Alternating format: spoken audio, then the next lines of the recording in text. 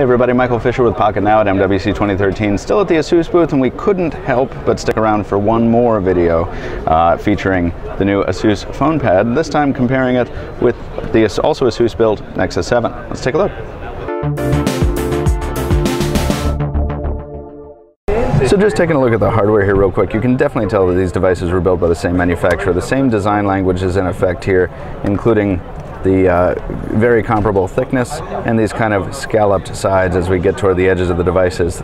Big difference, of course, is in the finish with the rubbery soft touch on the back of the Nexus 7 feeling uh, a bit more durable than the metal here on the uh, FonePad. Uh, this is titanium gold, by the way. Also, I always do that. This is champagne gold, by the way. Always also available in um, titanium gray. But uh, also, well, before we leave the back of the device, we can see that in addition to the ASUS branding, the Intel inside is called out here, and this is a processor difference we should call out.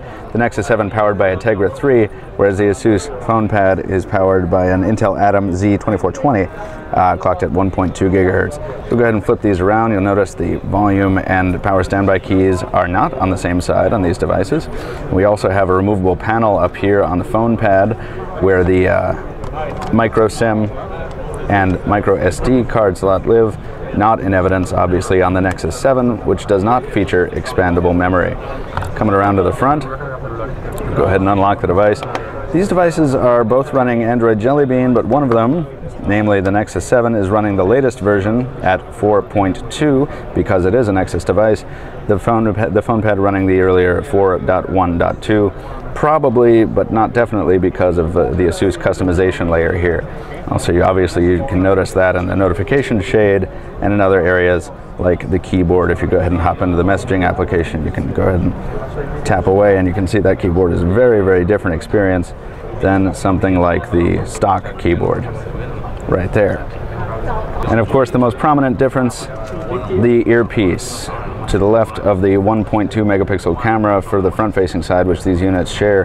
The ASUS FonePad has the earpiece up top, so you can use it to take calls at your head if you're into that kind of thing. Otherwise, as I say, these panels are identical, 1280 by 800. Um, many other specs are the same, and let's not forget these do come from the same manufacturer, so that shouldn't surprise us.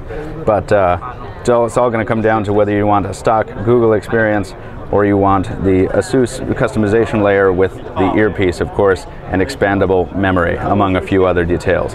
Just a quick look.